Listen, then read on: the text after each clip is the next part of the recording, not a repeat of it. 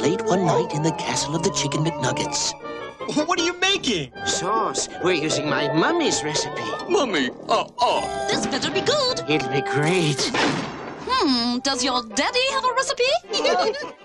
Now you can get McDonald's Happy Meal pails for Halloween! There's a pumpkin pail, a witch, ah. and a ghost ah. that glows in the dark. You can get a different one each week until Halloween!